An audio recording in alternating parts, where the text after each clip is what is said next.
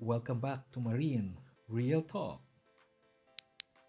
Today I'll be sharing about the EGR or the exhaust gas recirculation. EGR is a method to significantly reduce the formation of NOx in diesel engine to meet the MARPOL NOx Tier 3 regulation that limits the main air pollutants contained in ship's exhaust gas. NOx Tier 3 emission standards are applicable only in NECA or NOx emission control areas. So let's begin with the principle of EGR. A part of exhaust gas after a cleaning and cooling process is redirected to a scavenging air receiver. About 30 to 40% of exhaust gas is being cooled, cleaned, and recirculated. The effect of this is that a part of the oxygen in the scavenging air is replaced by CO2 from the combustion.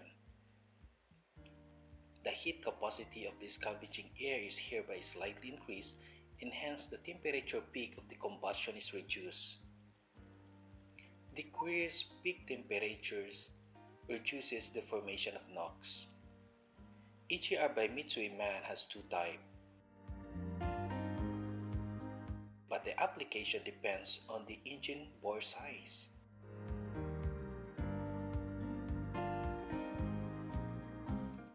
But on this video, I'll be sharing the bypass matching.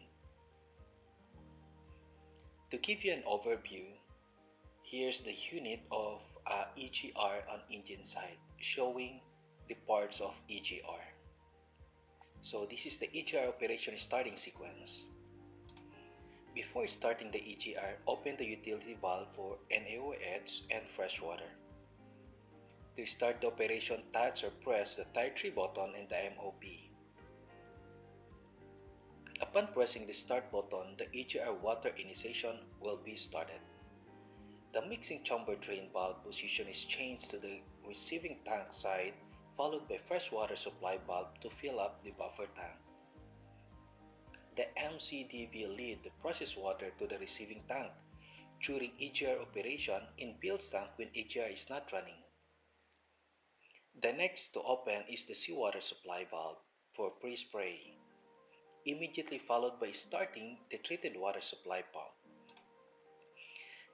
The EGR pre-spray washes the exhaust gas with circulated fresh water in addition with NaOH. The NaOH neutralizes sulfuric acid that is formed in the process water from the SOx in the exhaust gas. The process water circulation pump running immediately followed by opening of process water sealing valve. The process water circulating pump maintains the circulation of process water from the receiving tank unit to the EGR unit. The buffer tank level switch will be activated at this time. The receiving tank level valve open then will start the pH control until meeting the set point of about 6.5 ppm. The NOH pump start to dose NOH solution to control the pH value. Then we'll start the water treatment system. On my next video, I'll be sharing the principle and operation of the water treatment system. When the EGR process water system is started, then the exhaust gas recirculation will start via the EGR blower, followed by the opening of shut-off valve or SOV.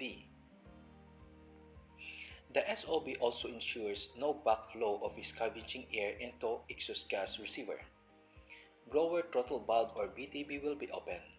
The BTV only open when the desired pressure drop over BTV is reached. EGR now is running, so I'll show you the gas flow. Exhaust gas is washed and pre-cooled during pre-spray. At the same time, the sulfuric acid from the SOx is neutralized. After passing to the EGR pre-spray, the mix of cooled exhaust gas, steam, and process water are led to the EGR cooler. Then, water evaporated in the EGR pre-spray is condensed in the EGR cooler. The EGR cooler cools down the EGR gas approximately scavenging air temperature and then we'll pass through the water mist catcher to separate the processed water to the EGR gas before the EGR blower. The EGR blower pushes the EGR gas to the mixing chamber for mixing with normal scavenging air cooler airflow. The EGR blower speed is controlled by a frequency converter acting on the EGR blower motor. The amount of gas recirculated is controlled by the EGR blower and the VTB so that the measured oxygen level in the scavenging air receiver matches the level corresponding to NOx Tier 3 emission. The cylinder bypass valve or CVB is open except at low load to increase the scavenging air pressure. The condensed water from mist catcher cold process water flows to process water receiving tank and again recirculated. So let's see the starting sequence and the ERCS MOP. Press the tier 3.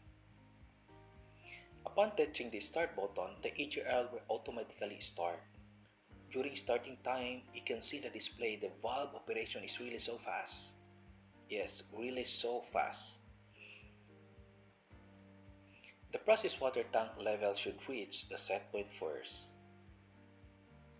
When the process water starts to circulate, the water level in the tank will goes down and keep the receiving tank level valve closed. So as you can see, the water level is going down.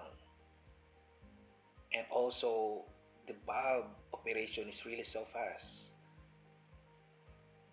So when the tank level is reaching about 50%, then the receiving tank level valve start to actuate.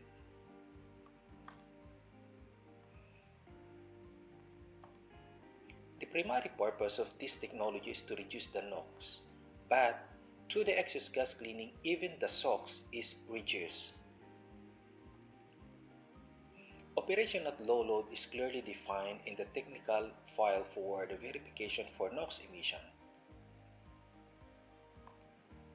At auto mode, upon reaching the 15% engine load, the EGR will automatically start and when engine load goes down to 12% and lower, the EGR will automatically stop.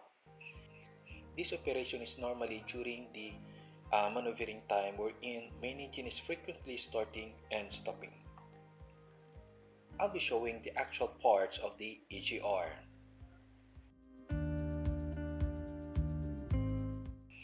The cylinder bypass valve or the CBV. Then here's the pre-spray and the EGR cooler and water mist catcher on the, up, uh, the upper side is the cooler and the lower side is the mist catcher on the upper portion you can also see the EGR cooler spray nozzle. Followed by the EGR blower wherein just like what I've said the EGR blower is controlled by a frequency converter Here's the frequency converter.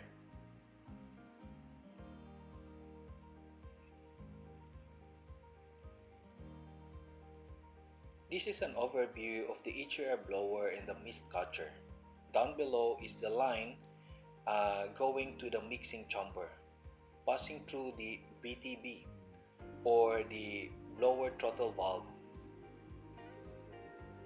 So here's the line uh, going to mixing chamber and to air cooler.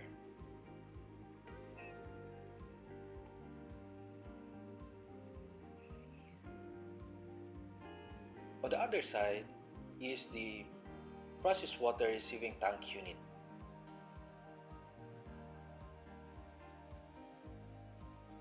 and the buffer tank. And the last one is the NaOH tank. Again, thank you for watching Marine Real Talk. If you like my video, please don't forget to hit the subscribe button down below so you will be updated with my upcoming videos. On my next video, I'll be sharing the EGR water treatment system. So see you then. Alright.